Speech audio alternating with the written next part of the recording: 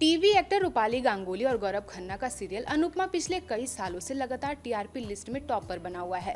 दर्शक पूरे हफ़्ते स्टार प्लस पे रात 10 बजे शो का नया एपिसोड देख पाते हैं और इसके अलावा OTT platform Disney plus Hotstar पे भी रोज शो को नया एपिसोड आ जाता है। लेकिन इसके अलावा अब राजन शाही प्रोडक्शन की टीम अब दर्शकों के लिए कुछ नया और कुछ खास लेकर आ रहा है। रूपाली गांगुली ने एक पोस्ट करके फैंस को इस बारे में हिंट दिया है।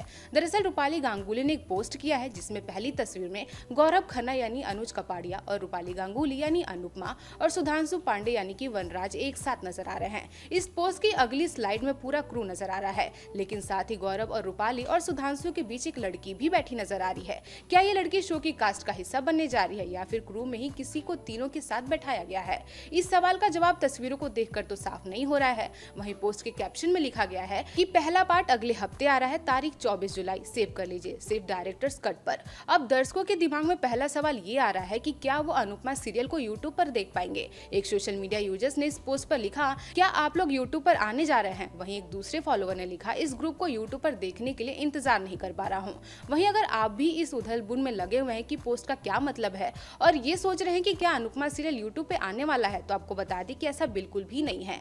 असल में अनुपमा सीरियल के star cards director cut production नाम के यूट्यूब चैनल पर आने वाला है। इस ऑफ़ स्क्रीन शो में रूपाली गांगुली, गौरव खन्ना और सुधांशु पांडे आपस में गेम्स खेलेंगे और ढेर सारा गॉसिप करेंगे। बहरहाल आपका इस पूरी खबर पे क्या कहना है कमेंट सेक्शन में अपनी राय ज़रूर बताएँ।